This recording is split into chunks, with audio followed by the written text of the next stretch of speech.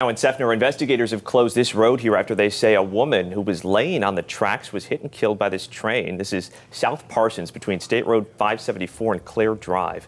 Not clear yet why she was on those tracks. We'll keep an eye on this. We'll let you know when it reopens.